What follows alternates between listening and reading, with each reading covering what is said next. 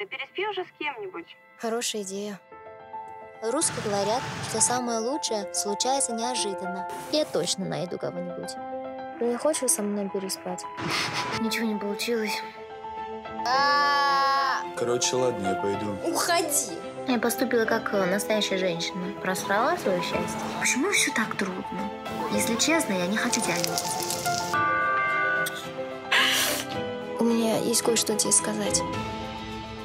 Ню на китайском языке означает